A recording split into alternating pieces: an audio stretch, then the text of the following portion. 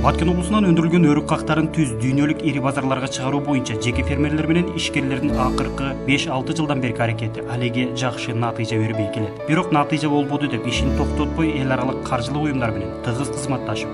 Химикатсыз өрүк азыгын өнүккөн өлкөлөр базарына жеткирүү боюнча бир миң эки жүздөй мүчөсү бар алыштан айыл чарба кооперативи аракетин токтоткон жок бүгүн дүйнөлүк тоо өлкөлөрүнүн шериктештиги уюму тарабынан берилүүчү тоо азыгы брендин алуу үчүн аракет башталды. Баш кеңсеси италияда турган бул уюмдун катчысы роза лаура баткенге келип өрүк кагы кандай өндүрүлөт берилүүчү брендке татыктуубу кийин ири базарларды камсыздай алабы иликтөө иштерин жүргүзүп баштады. Анын айтымында өрүк өндүрүүчүдө мүмкүнчүлүк кенен. Болгону ири базарга ири көлөм даярдап берүү кепилдиги зарыл. Жергиликтүүлөрдүн буга чейин өрүктү ири базарларга алып чыгууга жасаган аракетинен мен абдан таң калдым. Бир топ жумуш жасашыптыр.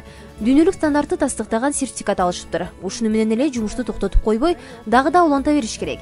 Эгер биздин демилгебиз ишке ашып тоо азыгы деген дүйнөлүк брендке кошулуп калса мүмкүнчүлүк дагы да кеңейет. Анткени дүйнөлүк базарга түшкөн тоо азыгы деген продуктуну айырмалоо кыйынга турат. Ал эми бул жердин өрүгү мындайда мүмкүнчүлүгү кенен болот. Мындай брендке ээ болгон табигый азыкка суроо талап жогору экени тааныштысыз дүйнөлүк тоо азыгы деген брендти ыйгаруу үчүн келген адистер жергиликтүү фермерлердин аракети жакшы экенин бирок мамлекет тарабынан колдоо аз болуп дүйнөлүк талаптарга ылайык сертификаттарды алуу үчүн түйшүк оор экендигин айтышты. Тоо өлкөлөрүнүн шериктештиги уюмунун борбор азиядагы мекемесинин өкүлү эльвиция почеркал мамлекеттик мекемелер бул жаатка шарт түзүп колдоо көрсөтмөйүн. Кирешени арбытуу кыйынга турат дейт баткенский өрүк он что является вообще таким баткен өрүгү кыргызстан үчүн эң маанилүү продукт.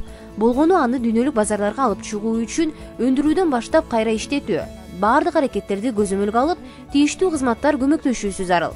Ар бир дыйкан өз алдынча аракеттенбей бирдиктүү система болушу керек. Мен өзүм монголиядан келгем.